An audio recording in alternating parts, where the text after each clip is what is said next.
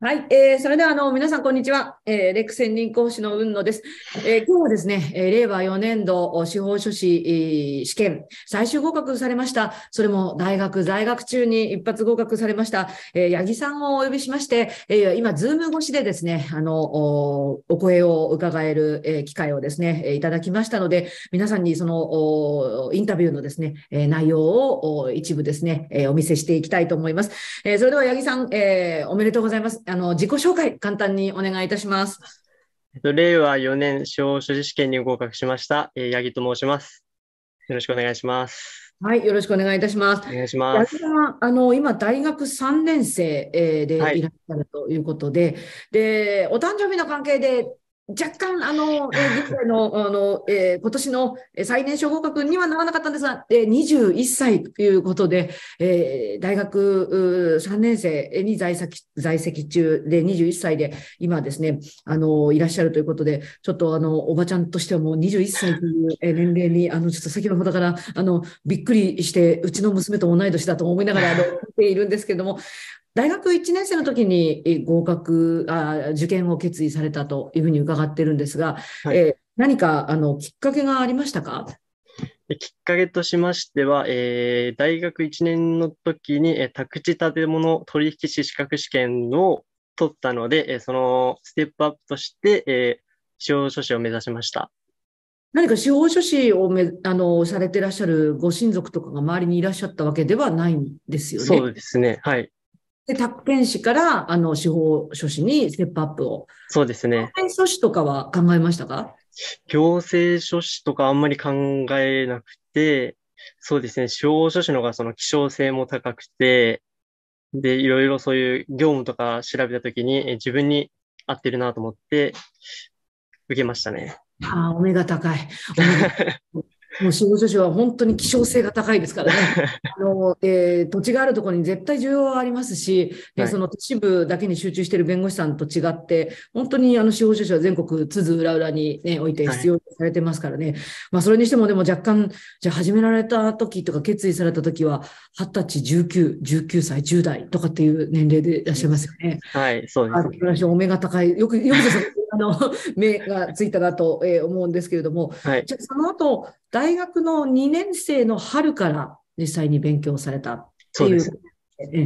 えー、レックではあの15ヶ月合格コース、あの秋から始める秋生と春から始める春生があるんですが、八木さんの場合には春から始められたということですよね。はい、となりますと、大学の勉強とかとこう両立はどうどうでしたか？両立の方は、そうですね、大変な部分もあったんですけど、そうですね、うまくその、運野先生の使ってるそのセルフレクチャーとかを、その、隙間時間とかにうまく活用することによって、一発合格することができましたね。そうですね。あの、大学生っていうのは、なんかこう、大学の宿題とかもね、あの、多分あったんだろうなと。はい、まあ、ましてや、ね、えー、3年、4年生、まあ、ある程度進めば少し軽くなってきても、まあ、2年生の時だとね、かなりあれですね。はい、そうですね。はい、頭が下がる限りなんですが。まあ、でも、その時にあの、レッコでは選ばれた理由って何か特にございますか？あレックを選んだ理由は、自分はそのどうしても一発合格がしたかったので、その調べた時にレックがその多数のあの一発合格者を輩出したので、そうですね、レックを選びました。その選択は合ってましたね。その選択そうですね。よかったです。最初からまあ一発であの受かろうと、ね、あの決意した方が必ずしも全員が1回で受かるわけではもちろんない、もう過酷な試験なんですけど、はい、もうそうするともう初子貫徹して、えー、1回で合格。ね、このあの一発で合格、まあ、あのもちろんされたっていう今実績持ってらっしゃるんですけど、直前期の公開模試とかではどれぐらいの成績取られてました？公開模試は、えー、いい時で、えー、B とかぐらいで、悪い時は D とかが結構続いてましたね。じゃあ、あの、もう、成績的には、じゃあ、ぶっちぎりということではなかった。そうですね。全然そういうのではなかったです。じゃあ、もう本当に直前期にぐわっと上がったっていう。そうですね。あの、私がよく講義で言ってる、もう、模試がすべて終わってから伸びるよっていうタイプでに行かれたね。はい、そうですね。あの、それでしたらば、確かにあの、この間もこの、あの、対談をさせていただいた方も、一番良くて、やっぱり、C 判定で、うん、ラスト2週間でなんかめきめき伸びたっていうようなことをおっしゃっていらっしゃったんで、一番あの理想とする一発合格者のね、やられたんでしょうね。はい。あの、何かこう、一発合格の秘訣で、こう、皆さんにこう、アドバイスできることあれば教えていただきたいなと思うんですが、はい。アドバイス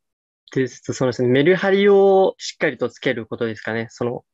特に運の先生が言ってる場合だと、その、よく出るところは、その A で、あんまり出ないところは C っていう、その言われたところを、その A と言われたところを、その重点的にやって、出ないところはやらないっていう、そのメリハリをつけるのが、その一発合格のその秘訣だと思います。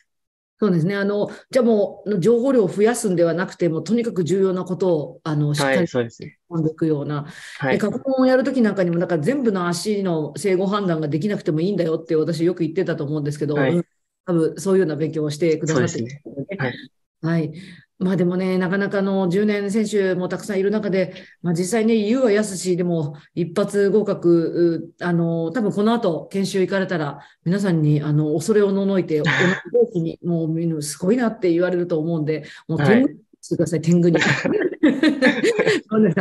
まああの、何かこう、あれですかね、この教材使ってよかったなっていうレックのなんか教材があったら教えていただきたいなと思うんですが。レックの教材、その、やっぱりそのセルフレクチャーですかね、宇野先生の。やっぱりその、自分がその在学中だとその、電車とか乗る中でも、その、ブレイクスルーとかだとどうしても、とても分厚いので、使いづらいんですけど、そのセルフレクチャーだとその、コンパクトにまとまってるので、その隙間時間とかもうまく使えたので、セルフレクチャーが特に良かったなと思いました。何回ぐらいやりました？何回ぐらいそうですね、数えてないんですけど、セルフレクチャーはかなりありましたね。はい、やりました。はい。あの、セルフレクチャーは、あの、運のクラスね、だけの、いわゆる復習用教材なんですけども、はい。でも皆さん、あの、ボロボロになったセルフレクチャーを合格後、あの、確かに何人も持ってきて見せてくれました。あの、直前期は何か、なんかこう、勉強方法として、どんなやり方してました？直前期は、あの、直前絞り込み講座。うん、直前択一角も絞り込み。あ、そうです。ね、直択。はい。あ そあれを取られてた？そうですね。あの、スケジュール、あの、何ぐらい、ま、何回ぐらい回せました？スケジュールが、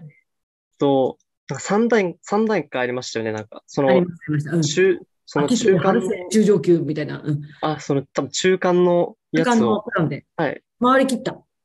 まあ、なんとかやりましたね。ああ、素晴らしい。はい、じゃあ、あの、直前期はもう本当にひたすら過去問回して。はい、そうですね。